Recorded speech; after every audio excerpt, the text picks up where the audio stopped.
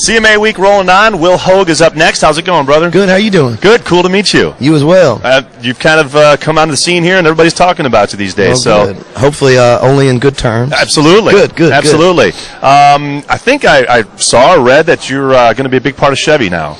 Yes, uh, they have picked up "Strong," which is a song that I wrote and recorded uh, to use for their Silverado truck campaign, and it's also the new single that's out at radio now. How so, cool is that, man? Uh, really cool. yeah. yeah. I'm a Chevy truck guy, so I, Are you? yeah. Have you tried the 2014 Chevy Silverado? Actually, I'm getting ready to possibly get one. Right Are now, you? I'm driving a 2013 HD. But Well, what you should do is after this, we'll go out and get in mine. You can test drive it, and uh, I feel certain that the vehicle will sell itself. cool looking truck. I love it. Yeah. But enough about Chevy trucks. Enough about we Chevy could talk trucks. about those all day. We can. We were walking around yesterday, and uh, my buddy Chuck here was like, "Oh, dude, look at this! We're in the Ernest Tubb Record Shop, and there's a Will Hoge album.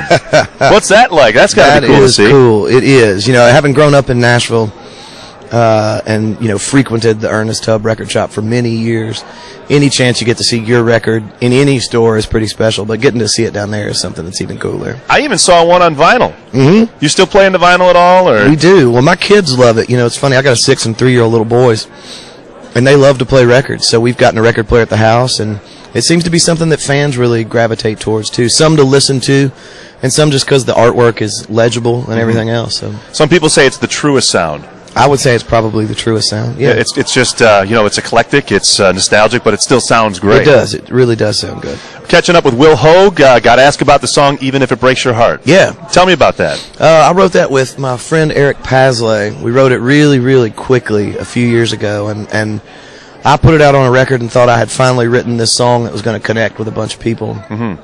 Put it out on my record, and about 14 people heard it. Uh, fortunately, five of those were in the Eli Young band, Yes. and they uh, decided they were going to record it, and they put it out and did have an actual hit with it, and proved me right after uh, after all these years.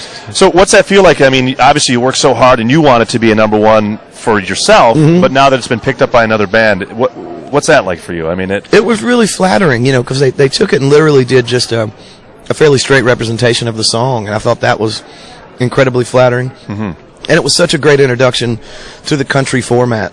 Uh, for me, as an independent artist, this is a very difficult format to just jump headfirst into. Right. So now having that, you know, kind of lay some groundwork for us, and now having the strong thing that we can come out with a first single, it really works out better for me having it half have happen that way. Well, this is kind of a cool transition. I mean, obviously a major you know company has picked you up, Yeah. And uh, to, for their commercials, and you're here at CMA week, so I think it's Here we going pretty good. I can't complain a Pretty bit. cool. Yeah, Will man. Hoge, thanks for your time. Thanks.